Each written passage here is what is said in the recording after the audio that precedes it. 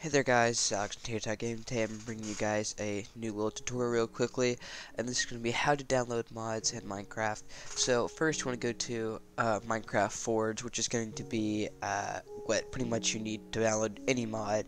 You're going to click on this right here, and you could get Minecraft Forge anywhere from versions 1.11 to 1.1.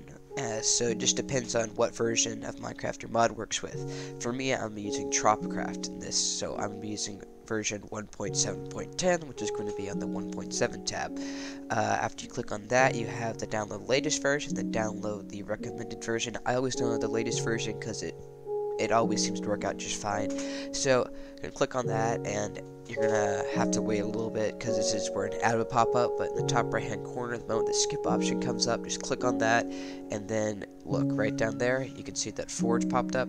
Click on that. I'm not going to install the entire thing right now, but I'm going to show you guys real quickly right here. You're gonna click on the top option right there, and you can change the file destination. But I never mess with that. But after that, just click OK, and the thing basically runs itself from that point forward.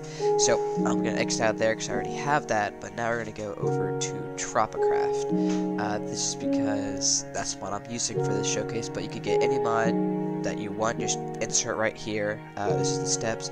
Uh, here's tropicraft.net. So we're going to go to download Tropicraft 1.7.10, and right here, you can see I can download it right here and there would be advertisements here. but I have my ad blocker on, so I'm preparing download and download Tropicraft. Uh, click on that. I'm going to cancel this because I already have it, but whenever that download's done, drag that to the desktop. But now out Chrome, and you should have this file right here. And after this, we're going to go right here to our search tab, and we're going to search percent app data percent. We're going to click on the file destination right here, and we're going to click on dot Minecraft, and here we want to go to the mods folder,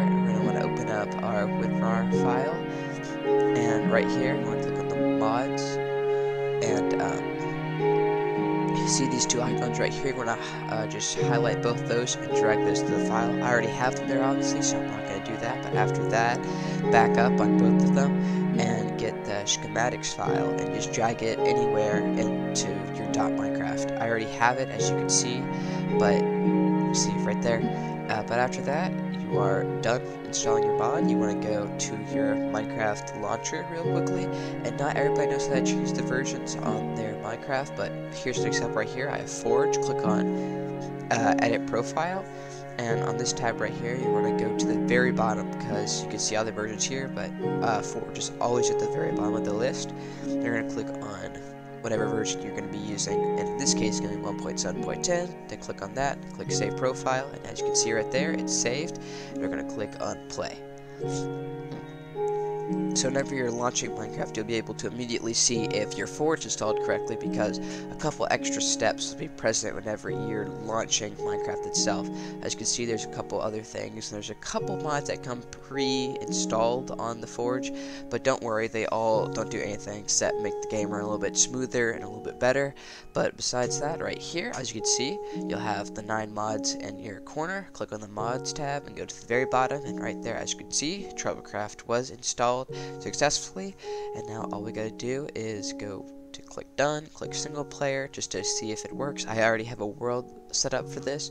Uh, it's going to load train and bam. As you can see, I have the world already set up and I have the tropical cocktail and I just have pretty much everything that would be in uh, Minecraft uh, Tropicraft. I have all the different items, but uh, so yeah, see, it worked everything, and this works for any mod on any version of Minecraft thus far. I hope you guys enjoyed this video. Please do like it. I know everybody says that, but it does really help me get my video out there.